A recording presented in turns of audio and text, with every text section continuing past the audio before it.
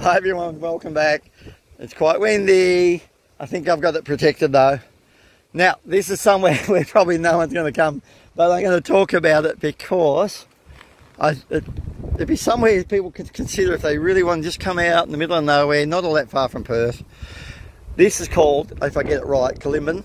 I'll put all the name up, you can read it later. There's maps at the end. I'll put it on the thing anyway. Cullimbin Well. Now, we have looked everywhere. It's Well Reserve. C-U-L-L, I think it starts with. And uh, we can't find the well. But it looks like a bit of rain, you'd have water holes everywhere around here. Wouldn't take much rain because there's so many rocks if you look around this way. There's all the rocks everywhere. Big granite rocks, but they're not high, they're just down low level. Now you could camp absolutely anywhere around here.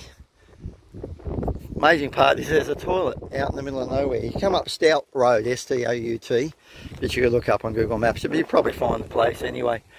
We're north of Dowerin, and I think we're south-west of Koorda. I mean, the roads have been, some are sealed, some are dirt, really good dirt roads. It's all two-wheel drive, there's nothing that's not serious, that's anything serious at all. I'll make a video of the other area, but I think this is the best spot if you wanted to stop and camp. So this when you come in Stout Road, that Stout Road there, and you first get to the toilet. If you come around here, the toilet's okay, it's a little old dummy. Not that old actually. So if you go off to that left track, there's heaps of spots of free camp there.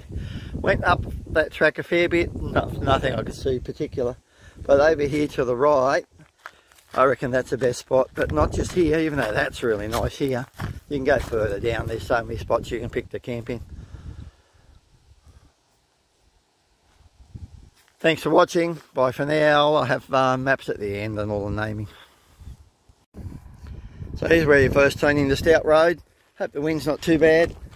You can see how good the track is, there's nothing wrong with it. There's no corrugations or anything, very nice. Here's a sign where you first come in. 56, uh, 460 hectares of pristine wheat belt woodland. I must admit it's nice, nice in there. Just be better to be here after a bit of rain I think. Could be quite interesting.